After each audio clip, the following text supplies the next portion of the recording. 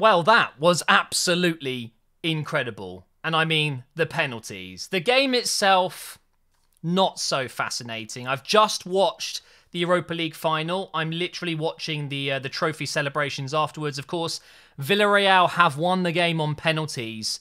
11 10 on penalties. It went to the goalkeepers and ultimately De Gea missed. Well, actually, no. What you should say is Rulli, the Villarreal keeper, saved the penalty. I don't want to hear De Gea missed the penalty because he didn't. Okay, it was actually an okay penalty. It was just the keeper went the right direction. So, what's my thoughts on the game? I don't normally do match reviews of other matches, but do you know what? A Europa League final.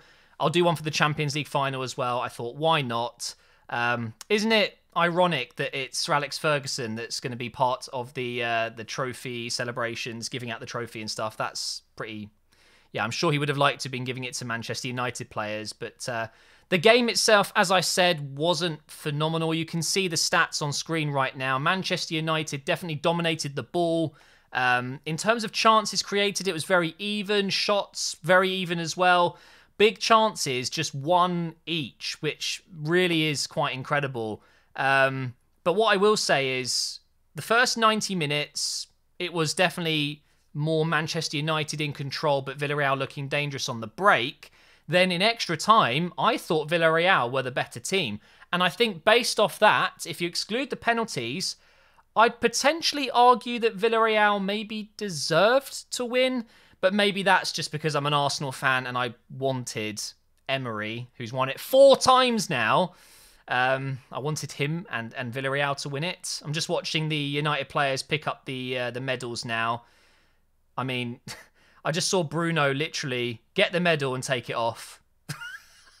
literally, they're taking it off straight away. I don't I don't blame them. No one wants a silver medal. No one wants second place. How did Van der Beek not even get on the pitch, by the way? Um, but yeah, talking about the penalties, Jesus, 10.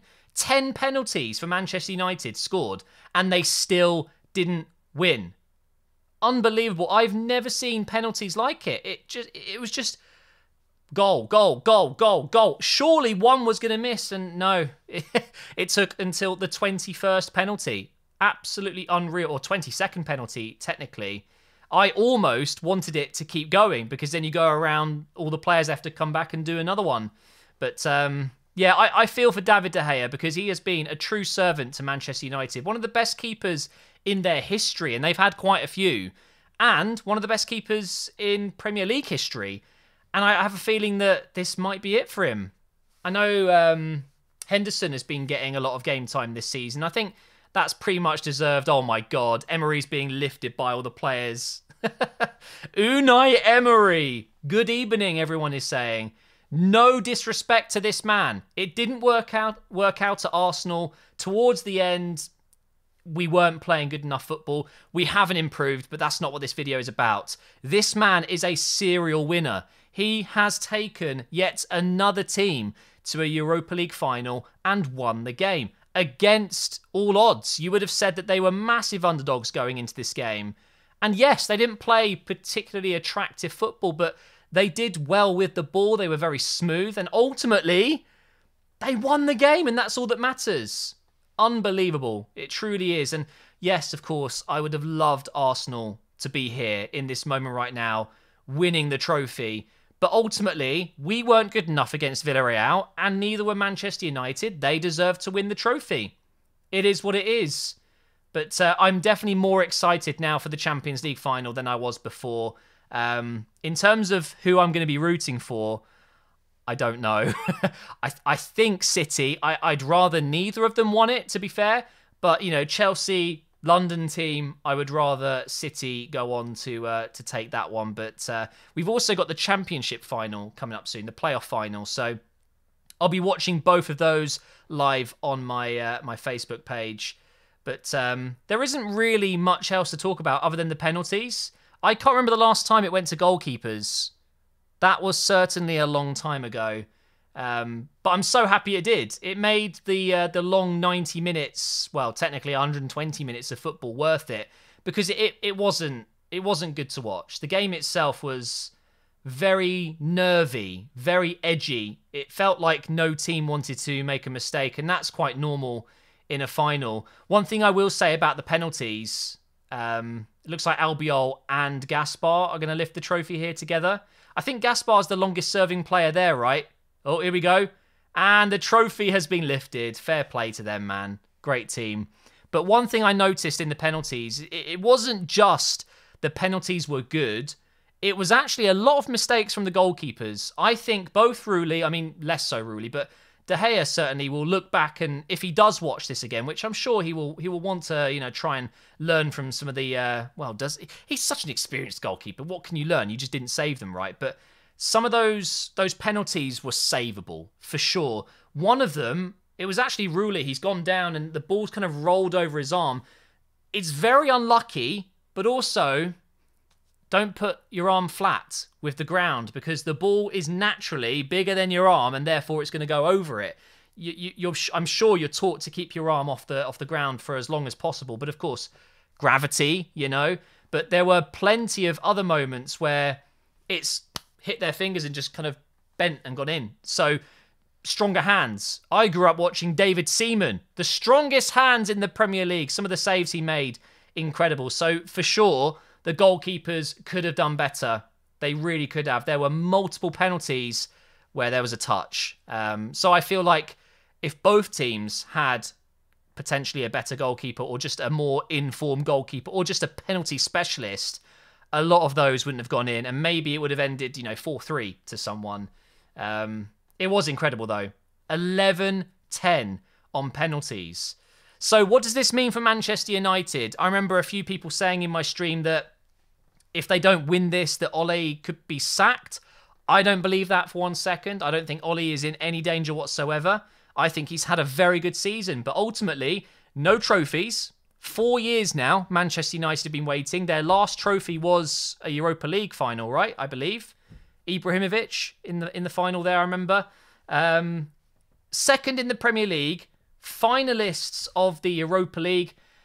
It's a marginal improvement, but ultimately, not a successful season. It's going to be the same with Chelsea. If they don't win the Champions League final, all they're getting this season is a top four finish, same as Manchester United. So it's not great. But the thing is, they've got Champions League football. Villarreal didn't. They finished seventh, I believe, in La Liga. So they missed out on Champions League football. But now that they've won the Europa League, they will be in, cha- in the Champions League next season. And that's massive for them you know, they've definitely had a tough season in La Liga. There's been a lot of uh, of the mid-table teams that have done so well. Uh, it was a crazy end to the season with the top three. Of course, Atletico Madrid went on to win it.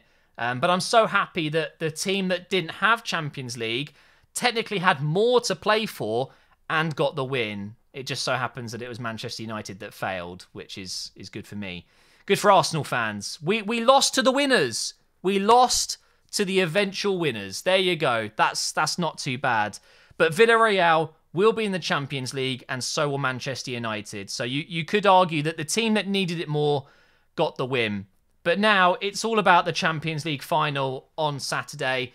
I am predicting a City win. I, I think I would rather City win, but of course, I'd, I, would i would have preferred a PSG, a Real Madrid, or a Bayern in the final, and I would have been rooting for them because although Obviously, I want English football to do well, and I want the world to think the English teams are, are really strong. But I'm an Arsenal fan, and we've never won the competition. We've only gone to the final. Same in the Europa League, in Baku, of course, and we were one step away this season. Of course, I don't want another English team to win it. It, it kind of hurts, right? So I would have loved PSG to win it this season, but I feel like Man City just have a slightly stronger squad. They will, I think, have too much for, for Chelsea who for sure will be feeling a little bit under pressure. They have not had a very strong last few weeks, losing the FA Cup final, losing to Aston Villa on the last day of the season. Of course, they just about got top four because of Tottenham winning. They are not going into this final in the strongest way possible, but they have beaten Man City recently, so you never know. And in terms of the Championship playoff final, I think Swansea will win, but I want Brentford to win because we get their stadium in FIFA. But all in all, guys, this review of the Villarreal game, not much to talk about in terms of the the 90 minutes, but really it's all about the penalties. Make sure you go check it out. It's one of the best penalty shootouts I've ever watched. I think the right team won. I think Villarreal, although they didn't play beautiful football and they didn't look like they were going to smash the game or whatever, but they deserved to win based off that incredible extra time that where they, they did so much better. And oh yeah, one thing I didn't mention, Ole not making substitutions and and then bringing on Fred, very strange. I think purely based off that as well. I think Emery did a better job tactically. So in my eyes, the right team won, but um, I get it. United fans watching this, it sucks. Losing on penalties is horrific. I'd say it's worse than than losing the the actual game itself. Um, it is what it is, man. It is what it is. But thank you for watching, guys. I'll do another review for the Champions League final on Saturday, but please do make sure you check out the stream and watch it live with me. And I'll see you tomorrow for another career mode video.